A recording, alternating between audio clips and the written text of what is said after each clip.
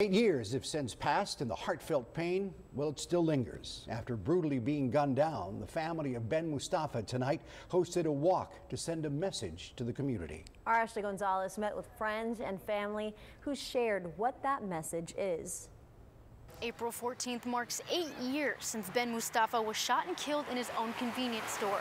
On Thursday, members of the community and his family gathered in music and presents.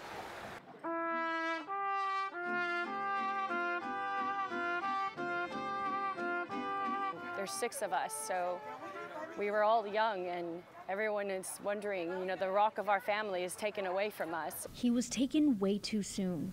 He was a family man and someone who cared about his customers. Ben Mustafa was a good friend of mine, and I used to come here and talk politics with him all the time and community activism.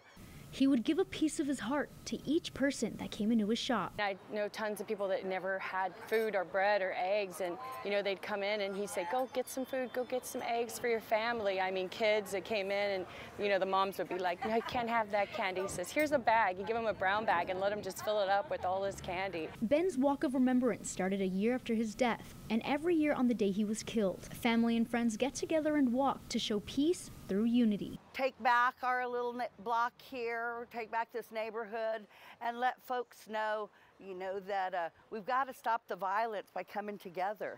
Just trying to do some compassion in this community, trying to bring some good out of all the bad. The family renamed the business to Ben's Community Market and want to let the coastal Bend know all are welcome, always. Ashley Gonzalez.